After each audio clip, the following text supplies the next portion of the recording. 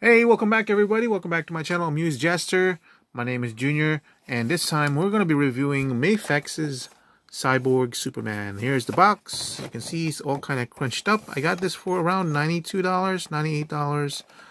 I guess that's a good price, uh, seeing as how uh, some of the place I've seen, it goes for $120. and I did get very, very late in the game, so um, I'm I could have if I could have gotten it cheaper, I would have.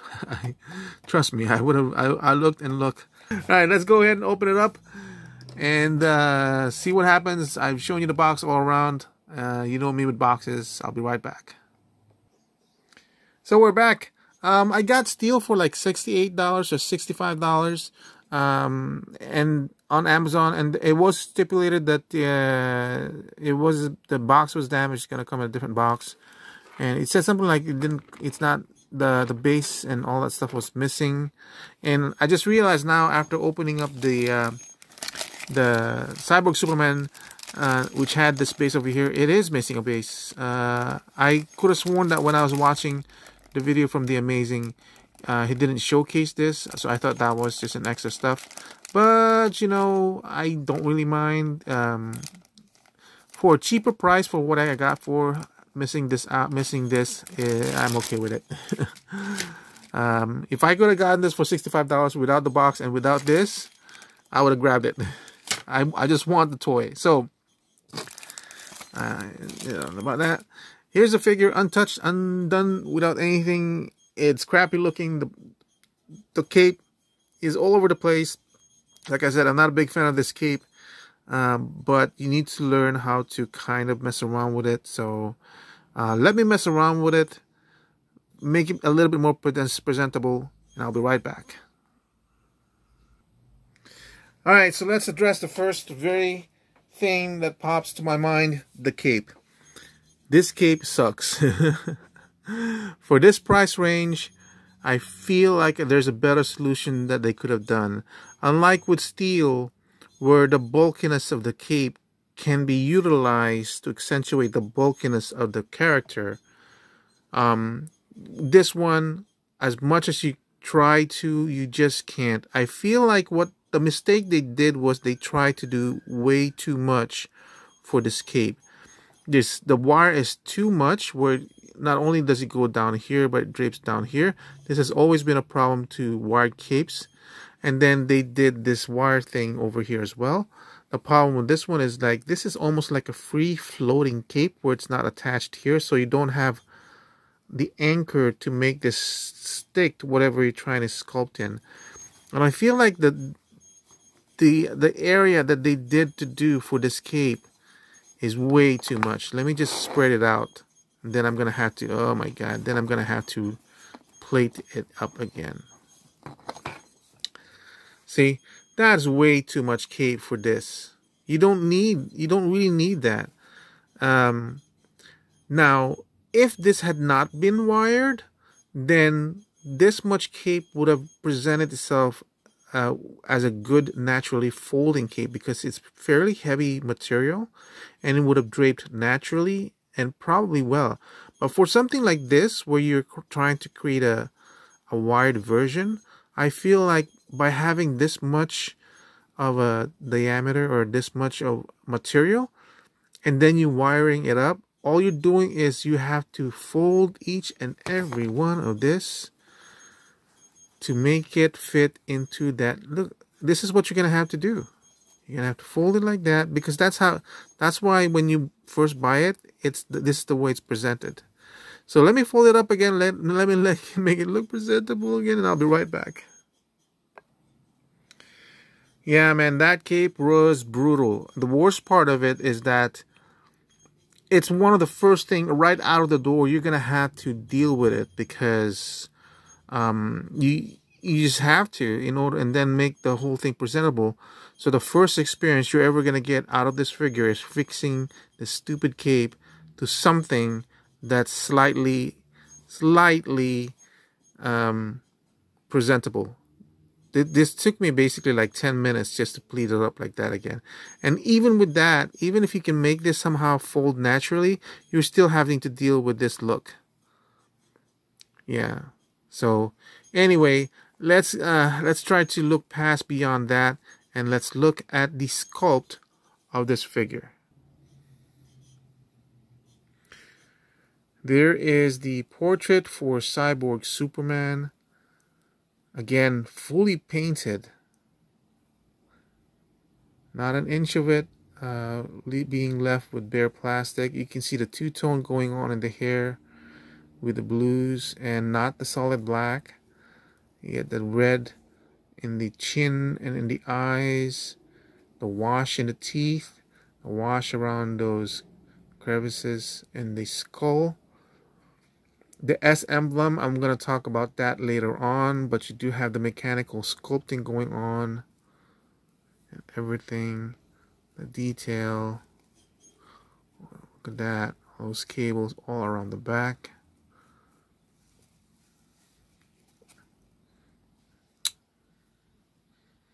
Again, when it comes to sculpting, you cannot fault Mafex to have a very, very presentable figure.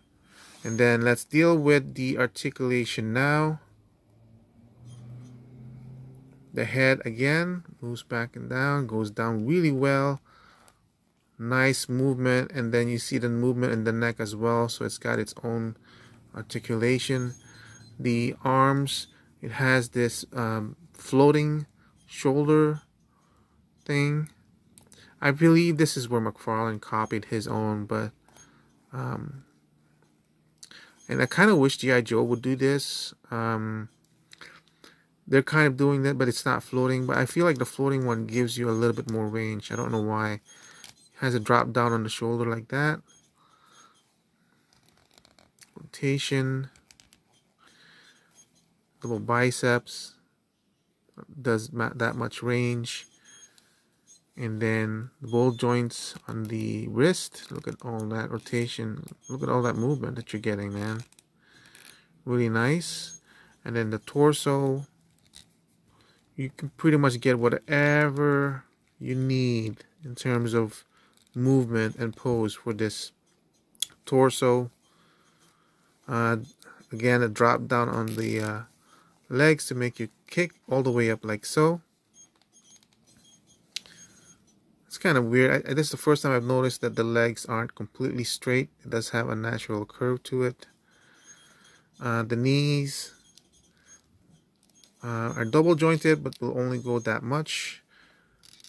Um, also notice there's no thigh cut. So there's no thigh swivel even with this one even though that's a naturally good place to put it in. There isn't any there's no boot cut or anything like that. So that's kind of a shame. Uh, that's, I mean, I guess you can still kind of get it to pose like that if you ever need to. Um,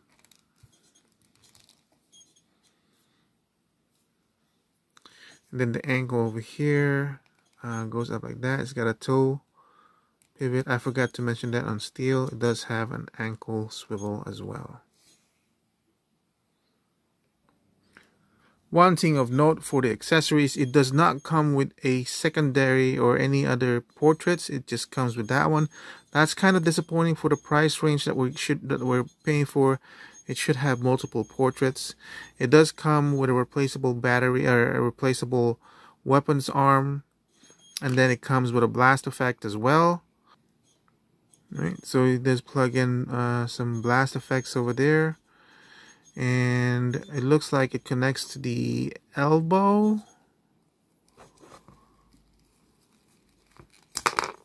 Yeah pulls off the elbow over there and just plug it in. And the joint is only friction based but because it's light up it there's no you know it does hold a pose you just don't want to be moving it too much, but it's it is capable of holding the pose. That's the only reason why it does sag is because you have these extended parts over there. That's kind of cool to have though, that look over here. Yeah. But um, I'm used to seeing Cyborg Superman in his just usual look, so I think I'm just going to be keeping him um, like this. That's one of the things I did notice too. This guy, the the ankles, it's holding, but it's. I wish it could have been a little bit more stronger. So one of the things I would add, if you know, for the price we're paying, ratchets would be nice. Uh, it comes with multiple pairs of hands again. The straight flying hands, as you can see. The kind of relaxed hands, left and right. The, I guess this would be the grabbing hands, left and right. A pointed fist and a fist. This is this is different from the closed one as you can see. The closed one is completely closed. This one's a little bit I think it was from the video of The Amazing who said the reason why this thing has a slight opening is for holding the cape, I suppose. Um, the other accessories I probably would have liked to have seen with this guy is the American flag because there is that iconic pose where he's holding the American flag. I guess I could just buy something, but at the same time, for a hundred dollars, that would have been nice to have. So that's basically it for the looks and the accessories. Let's bring in its competitor. The main thing is this is DC Direct's um, Cyborg Superman. This is the go-to figure when I'm looking when I'm thinking of this figure. Oh, he's been kind of scratched up a little bit. What? Uh, so as you can see from the S emblem, the S emblem over here has a darker pitch over here. That's the way it is drawn in the comic books. I'm going to tell you right now, look wise, this is still capturing um, what I think of when I think of these characters. Um, this guy is more closer to what I see in terms of Dan Jurgens' uh, artwork. I'm gonna have to say this, but the original DC Direct still trumps it, man. It's I look at it and I see Dan Jurgens, uh, Dan Jurgens, Jurgens artwork. That's the way I see it. This is more of a a manga-nized Japanese styled version. I'm sorry, this guy still trumps it. He, he is just I see, and, and then when you see the Superman of this one, you, you just can't. You, you just have to admit it. It's it's it's literally being taken out of Dan Jurgens' um, art style. So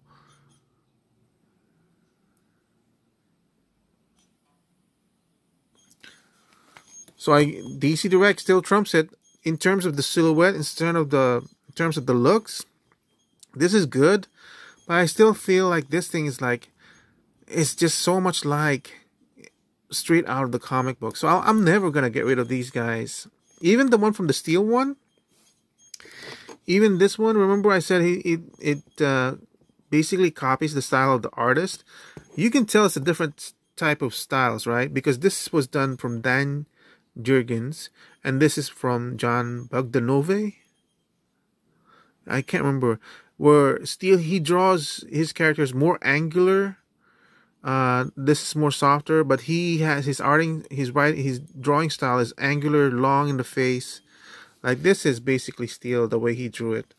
Anyway, um, so that was the other reason why I was kind of holding off on Mafex because I still have these and these these really captured uh, the style of the artist, the style of the comic books, uh, and this was good. It's the modernized version. It's very very articulated, you know, um, but uh, it's if they had done this with this, then that would have been fine. But this is more, this is more Mafex style. That's why, that's why um, when it comes to looking for the Superman version, I might be okay in getting the one from the Hush series because um, I feel like this looks like the Hush character, the Hush Superman.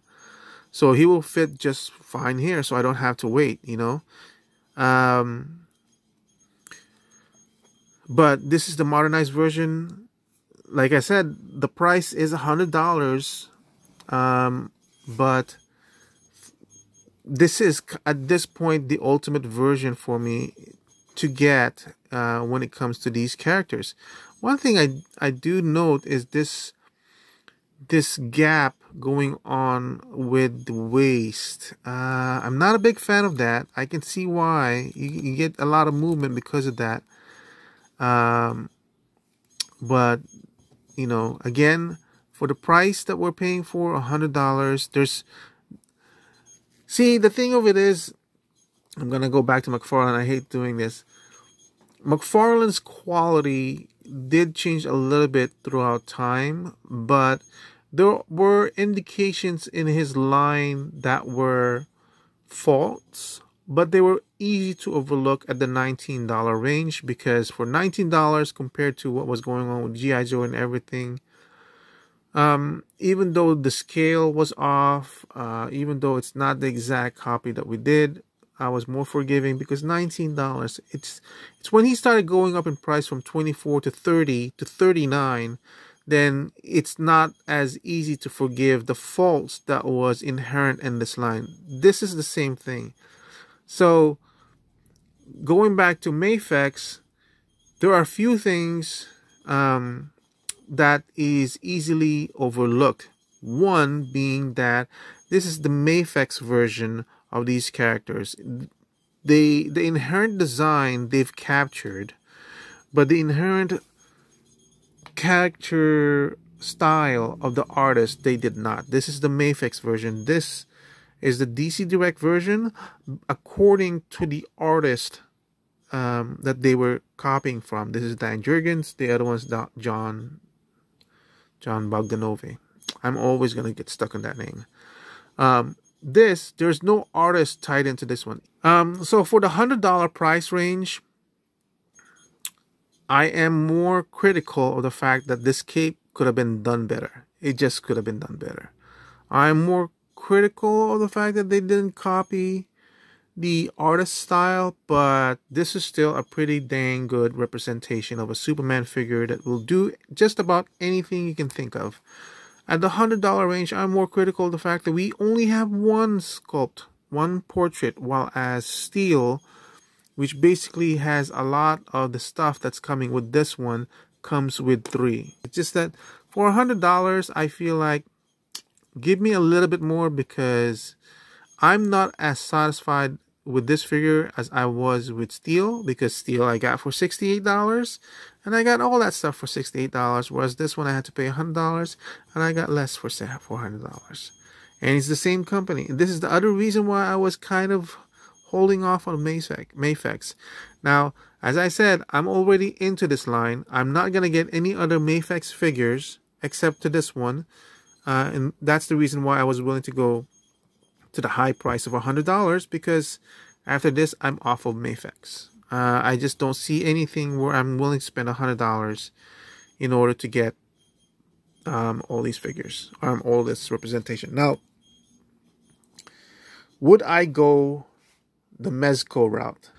Is that the ultimate version of this one? I don't know. Um, so far, it'll be. I'll have to think about it. But um, this is a hundred dollars. Mezco will probably around hundred and twenty dollars. I'll compare the accessories that they're gonna come up with this in terms of this one, because as far as I'm concerned, this is really good over. This is really good.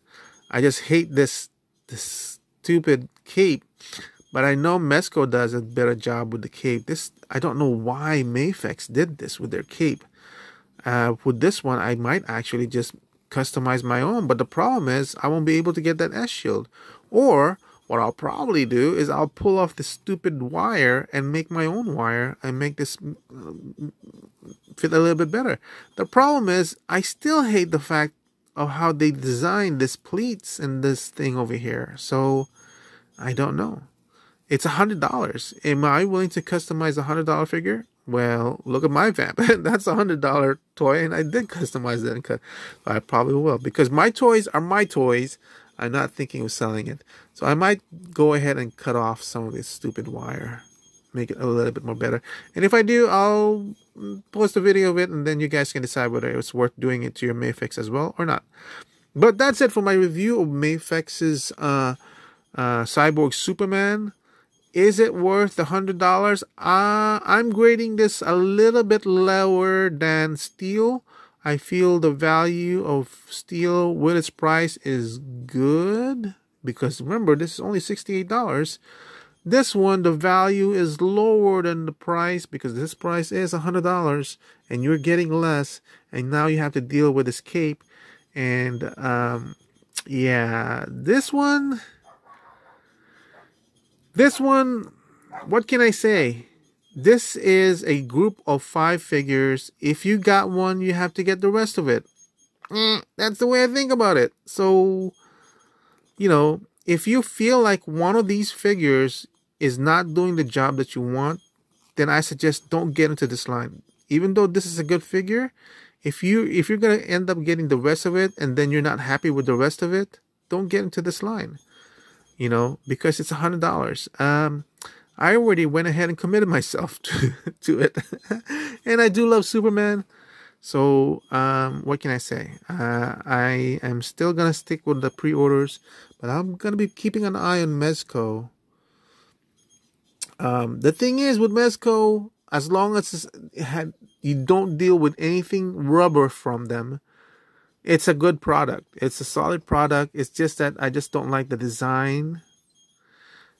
Maybe I'll, yeah, I'm gonna do a, another product review of Mezco to give them so I can reevaluate their standing in my collection because I still have not opened my Superman Deluxe in a tin can and I still haven't reviewed that. Uh, still sitting somewhere, which is really weird because it's Superman. I should I should have opened it up. But anyway, that's it for my review of Mes- Mafex's uh, Cyborg Superman. Thank you for watching. I hope this kind of helped you out a little bit. I mean, it's a pricey it's a pricey toy, so make your decisions uh, upon the criteria that you're setting on yourself. But uh, yeah, I'll see you guys soon, and you have a nice day. Bye.